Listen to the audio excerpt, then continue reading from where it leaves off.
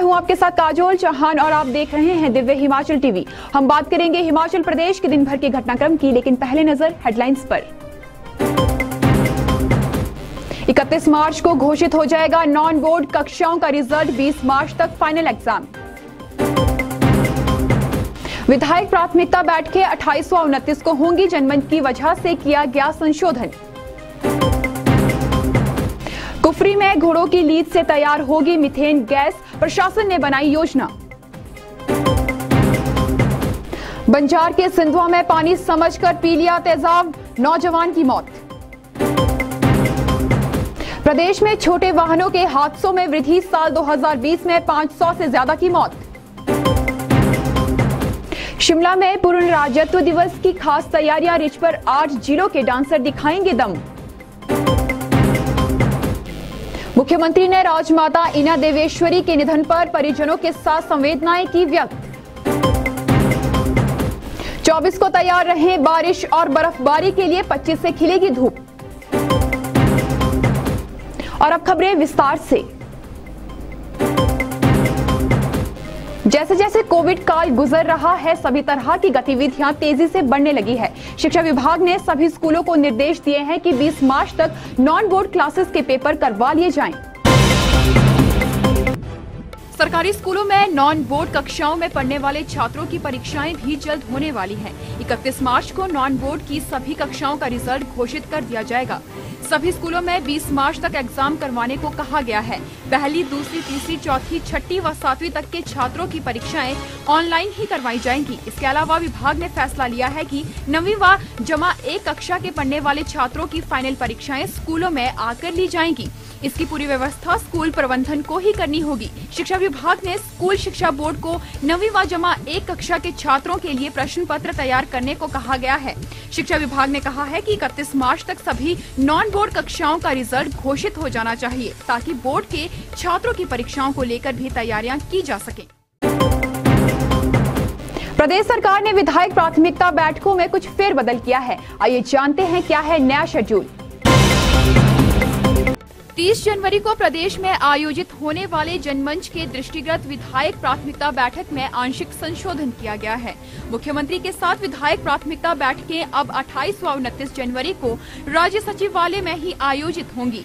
चंबा सिरमौर और ऊना जिला के विधायकों के साथ बैठक 28 जनवरी को सुबह साढ़े दस बजे से दोपहर डेढ़ बजे तक होंगी और मंडी, कुल्लू और बिलासपुर जिलों के विधायकों की बैठक इसी दिन बाद दोपहर दो बजे से शाम पाँच बजे तक होंगी। कांगड़ा और हमीरपुर जिलों के विधायकों के साथ बैठक उनतीस जनवरी को सुबह साढ़े दस बजे से डेढ़ बजे तक होंगी। इसके अलावा लाहौल स्पीति, किन्नौर, सोलन और शिमला जिलों के विधायकों की बैठक बाद दोपहर दो बजे से साय पाँच बजे तक आयोजित की जाएँगी। हिल्स क्वीन शिमला के कुफरी में सैलानियों के वर्षों से सेवा कर रहे घोड़ों की लीद से अब प्रशासन ने मिथेन गैस का एक प्लांट शुरू करने की योजना बनाई है। आइए देखते हैं ये रिपोर्ट। पर्यटन नगरी कुफरी में घोड़ों की लीद से मिथेन गैस का प्लांट तैयार किया जा रहा है। यहाँ बाहरी राज्यों से काफ़ी संख्या में सैलानी पहुँचे हैं। कुफरी में सैलानी घुड़सवारी करना पसंद करते हैं। घोड़ों की लीद यहाँ वहाँ गिरने से लोगों को काफ़ी परेशानियाँ आती थी। ऐसे में प्रशासन ने अब तय किया है कि कुफरी में घोड़ों की लीद से मिथेन गैस का प्लांट तैयार किया जाएगा। शिमला के डीसी आदित्य नेगी ने बताया कि इसके लिए टेंडर प्रक्रिया पूरी की जा चुकी है। विदित है कि कुफरी में जो है वो घुड़सवारी बहुत होती है तो उसको देखते हुए यहाँ पे जैसे घोड़ों से जो, घोड़ों की जो लीत होती है, उससे काफ़ी गंदगी होती थी तो उसके बाद ये डिसाइड किया गया कि वहाँ पे एक बायोमिथेनेशन का प्लांट लगाया जाए। तो इसमें जो है टेंडरिंग हो गई है, एक पार्टी फाइनलाइज हो गई है, उसकी जो है जहाँ पे ये प्लांट लगना है, वो प्लांट के लिए साइट भी एक्चुअली जगह चिन्हित हो चुकी है। तो अब मेरे, जहाँ तक हमारे अनुमान है कि वो कुछ दिनों में वहाँ का काम शुरू हो जाएगा, वहाँ पे एक प्री फैब्रिकेटेड स्ट्रक्चर बनाया जाएगा तो उसी में जो है घोड़े की लीत इकट्ठी करके फिर उससे बायोगैस वगैरह जनरेट की जाएगी।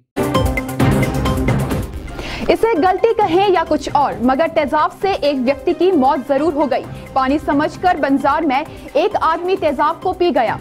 जानते हैं पूरा घटनाक्रम। बंजार उपमंडल के ग्राम पंचायत मंगलौर के गाँव सिंधवा से एक 35 वर्षीय युवक की तेजाब पीने से मौत हो गई है। परिजनों ने हालत खराब होने पर उसे बंजार अस्पताल पहुँचाया।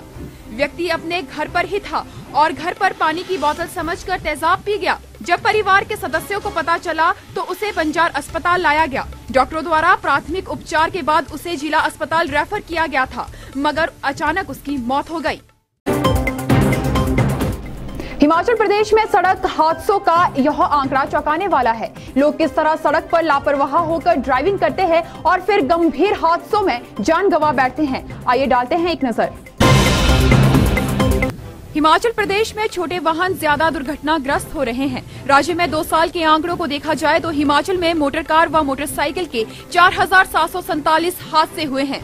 इनमें सबसे ज़्यादा हादसे मोटर कार के पेश आए हैं, जबकि दूसरे स्थान पर मोटरसाइकिल है। प्रदेश में साल 2019 के दौरान मोटर कार व मोटरसाइकिल 2611 हादसे हुए हैं। इनमें मोटर कार के 1348 हादसों में 366 लोगों की मौत हुई थी, जबकि 1450 लोग घायल हुए थे। इसी साल प्रदेश में मोटरसाइकिल, स्कूटर के बारह हादसों में 313 लोगों की मौत हो गई 2020 के दौरान लॉकडाउन के चलते प्रदेश में तीन माह तक सड़कों पर कम ही संख्या में वाहनों की आवाजाही हुई थी।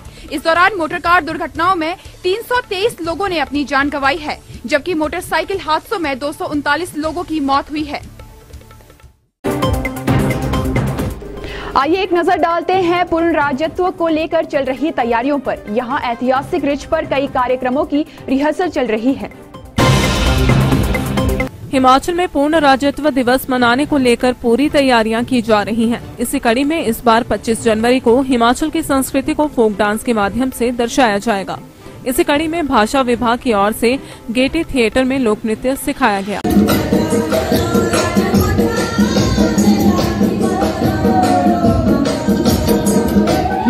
बताया जा रहा है कि हिमाचल के आठ जिलों के फोक डांसर रिज पर पहुँचने वाले खास मेहमानों का मनोरंजन करेंगे। इसके अलावा भाषा एवं संस्कृति विभाग की ओर से भी राज्यत्व दिवस पर मनमोहक झांकियाँ निकाली जाएँगी। इन झांकियों की तैयारी भी जोरों से चल रही है। मेरा नाम शर्मा है और मैं इस हिमाचल की गौरव यात्रा प्रोग्राम की कोरियोग्राफर हूँ। इसमें हिमाचल की आठ डिस्ट्रिक्ट्स के फोक डांसर्स इसमें हैं और ये नृत्य नाटिका हिमाचल के 50 वर्षों के इतिहास को दर्शाती है। इसके अलावा हिमाचल में क्या क्या खासियत है? किस बात को लेके यहाँ पे टूरिस्ट के लिए अट्रैक्शन का क्या आ, आ, क्या प्लेसेस हैं?